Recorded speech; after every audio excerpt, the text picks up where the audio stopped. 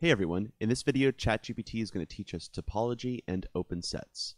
Topology is the study of spaces and the properties they possess without reference to any particular coordinate system or the metric properties of distance.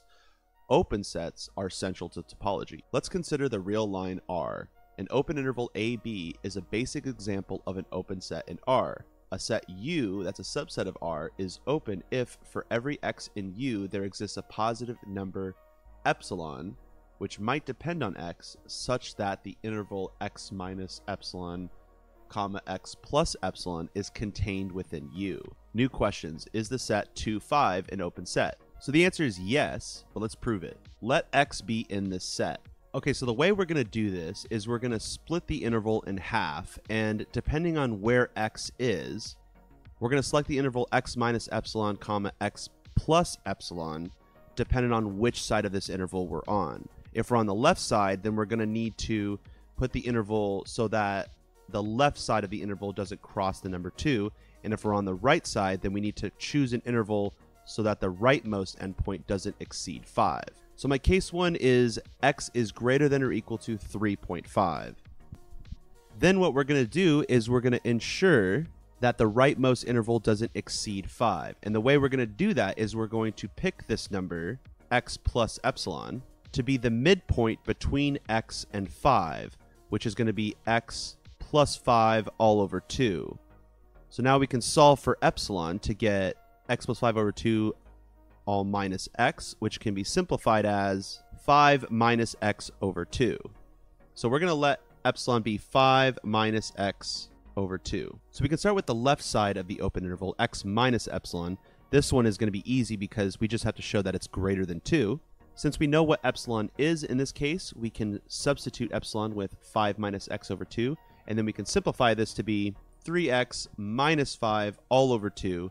And since x is greater than or equal to 3.5, this is greater than or equal to what we get when we plug in x equals 3.5, which is 2.75, which is greater than 2.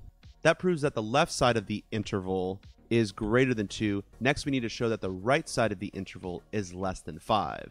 So we'll also substitute epsilon equals 5 minus x over 2, and then we'll simplify, which is x plus 5 over 2. Now, since x is less than 5, given that x is in this interval 2 comma 5, then that means we can say that x plus 5 over 2 is less than 5 plus 5 over 2, which is 10 over 2, which equals 5. So this shows that the interval x minus epsilon comma x plus epsilon is contained in 2 comma 5.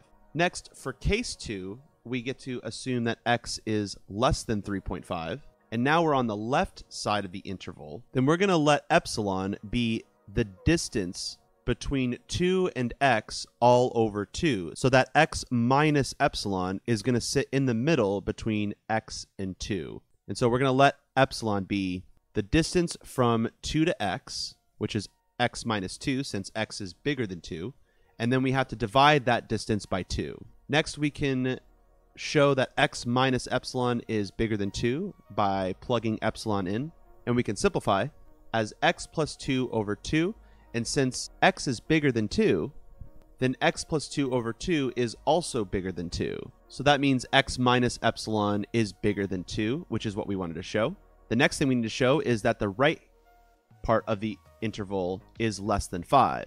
We can substitute x minus 2 over 2 into epsilon to rewrite this expression as 3x minus 2 over 2. Now, since x is less than 3.5, then 3x minus 2 all divided by 2 is less than what we get when we plug in 3.5 into x, which is 9.5 divided by 2, and that is less than 5. So in both cases, for case 1 and case 2, we arrive at the same conclusion.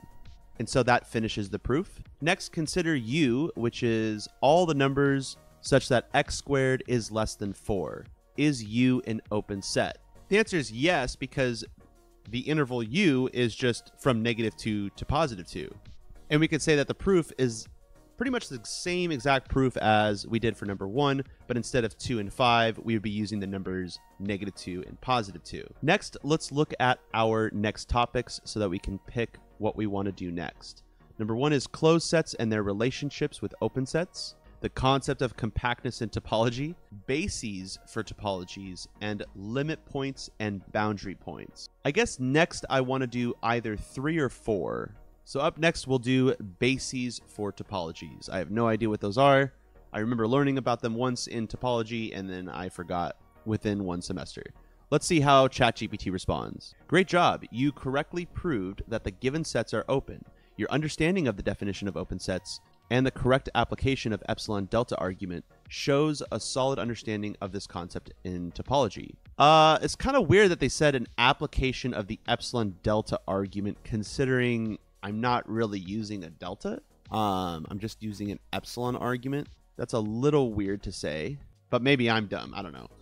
Feedback says your proofs are correct. You successfully showed that every point in the sets can be surrounded by an open interval that lies entirely within the set which is the definition of an open set. Progress. You've started on topology and have successfully demonstrated a solid understanding of open sets. This foundation will be crucial as we dive deeper into more complex concepts in topology. Up next, we're doing bases for topology. This stuff looks very intimidating. Thanks everyone, and I'll see you in the next video.